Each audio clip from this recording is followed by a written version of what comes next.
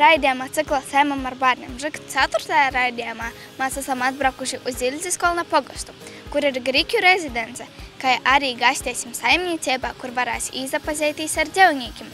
Lauku sātā kopā ar itkaču saimi samīļosim trušus, izzinosim kaidas rāznas pērlis ir moki un kalna pogostā. Sopus Jūlija Danilina ievuicās cept asuškas no driču miltim.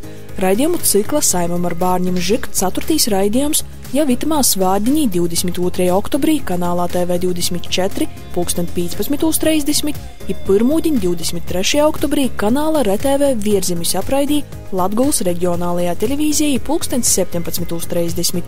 Atkārtojumi kanālā TV24 būs pirmūdiņos 12. izsāsdiņu reitos 9.30.